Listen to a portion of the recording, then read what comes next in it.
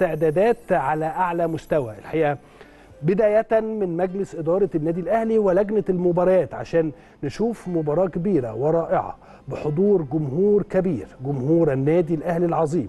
اللي هيروح إن شاء الله يوم مباراة يوم 1 إبريل الساعة 9 مساء. لن يفعل شيء إلا شيء واحد فقط وهو تشجيع فريقه. تشجيع فريقه بس وده اللي إحنا دايما بنتكلم فيه وده اللي إحنا دايما بنتعلمه الحقيقة من جمهور النادي الأهلي. كلنا عايزين نكسب كلنا عايزين نلعب على المكسب بإذن الله. إن شاء الله ربنا يكرمنا يوم 1 إبريل ونستطيع أن نتأهل في وسط استاد القاهرة وفي وسط 50 ألف متفرج. جمهور النادي الأهلي عنده فرصة كبيرة جدا جدا يعمل ملحمة تشجيعية لدعم الفريق وكالعادة الحقيقة. يعني الناس عمالة تقول لي إيه اللي هيحصل يوم 1 إبريل؟ اللي هيحصل يوم 1 إبريل إن شاء الله جمهور النادي الأهلي 50000 متفرج هيبقوا متواجدين في الاستاد هيشجعوا فريقهم. هيشجعوا فريقهم فقط.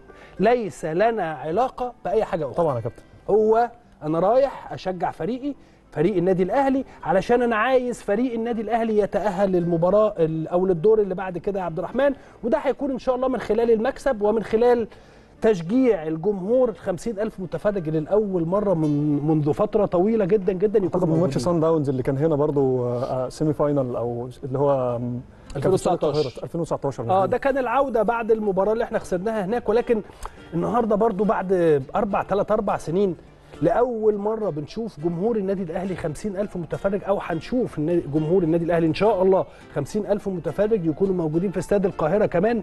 فأعتقد إن دي حاجة رائعة وحاجة جميلة.